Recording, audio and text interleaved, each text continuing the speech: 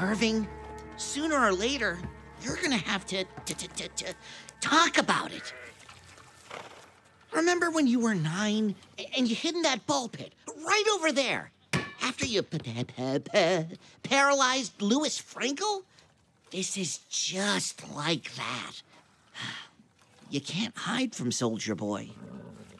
We're your best pals, aren't we?